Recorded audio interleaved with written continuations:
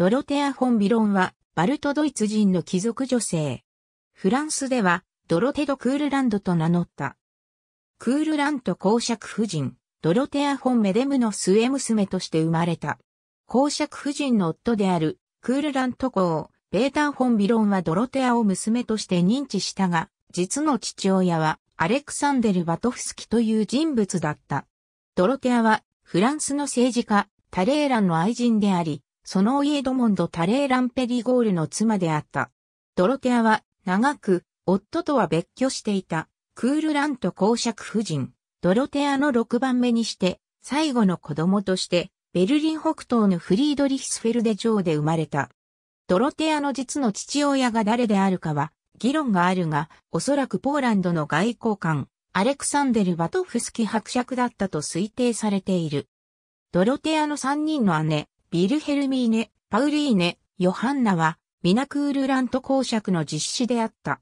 ドロテアはドイツで育てられた。タレーランは、おいで養子のエドモンに、裕福な女子相続人をめとらせようと考え、ロシア皇帝アレクサンドル一世に仲立ちを頼んで、ドロテアの母に、娘とエドモンとの縁組を承諾させた。結婚式は、ナポレオン戦争の最中の1809年4月21日と22日に、フランクフルトで行われた。ドロテアは、エドモンド・ペリゴール伯爵夫人、大政治家、ベネベント公爵の義理の命の地位を得た。ドイツ育ちのドロテアは、フランスの社交界では敵国を代表する存在となった。彼女の三人の姉たちも、大のフランス嫌いで、彼女の結婚にいい顔をしなかった。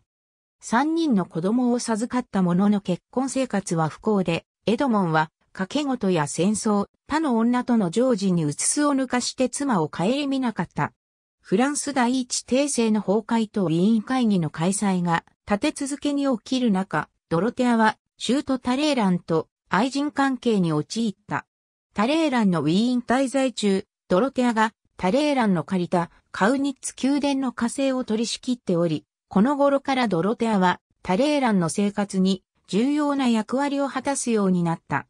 1817年8月31日、タレーランはフランス王ルイ18世によって公爵位を与えられて、フランス王国爵位貴族に列し、12月2日にウィーン会議でシチリア王フェルディナンド一世のために働いた公をシチリア王に認められ、ディーノ公爵領を与えられた。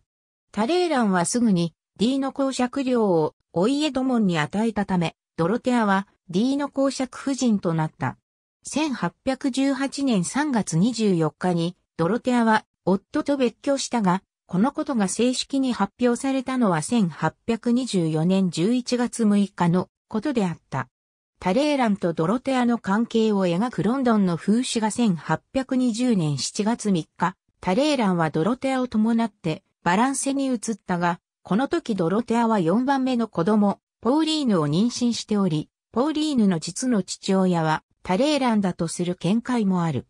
39歳年上のタレーランを事実上の伴侶とする一方、ドロテアは何人かの恋人を持ち、恐ろしいほど身持ちが悪いという評判を取った上、3人の初出の娘を産んだ。このうち、1816年に生まれた娘が、後のチェコの大作家、ボジェナ・ニエムツォバーだとする主張もある。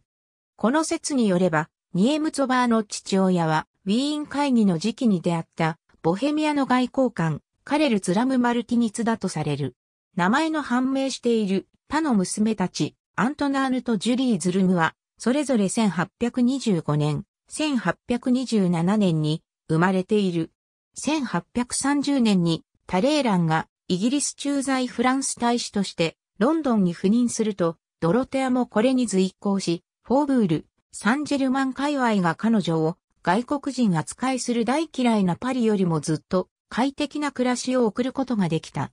この外国人扱いは、彼女の生涯にずっとついて回る問題だった。彼女はプロイセンでは、フランス人呼ばわりされ、フランスでは、ドイツ人呼ばわりされたのである。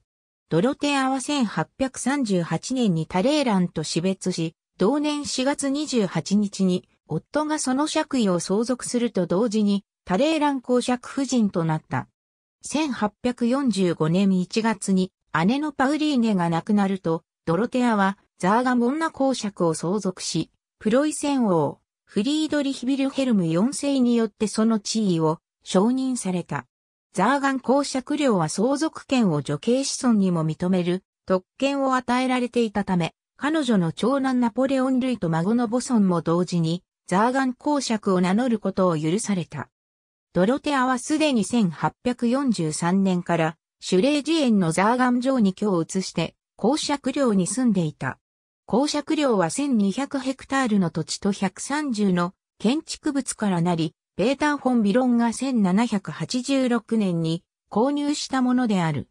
ザーガン女公となったドロテアは、この広大で裕福な公爵領を一人で治めていたが、1861年6月に馬車事故にあって体を痛め、1862年9月19日にザーガンで亡くなった。シュートで愛人であったタレーランに1838年4月に宛てた手紙の中で、ドロテアは死んだら自分の心臓をバランセにあるタレーランの墓の中に収めてほしいと望んでいた。しかし彼女の遺骸はザーガンの聖十字教会に埋葬された。同教会には長子ビルヘルミーネと息子のナポレオン類が一緒に眠っている。1809年、ドロテアはエドモンド・タレーランペリゴールと結婚した。彼女が産んだ子供のうち、以下の3人はエドモンの子供である。第4子は父親がエドモンではない可能性があり、ジップはシャルル・モーリス・ド・タレーランペリゴールだとされている。以下の子供は父親不明の死生児である。このほか、ボジェナ・ニエムツォバーも彼女の産んだ死生児だった可能性がある。ありがとうございます。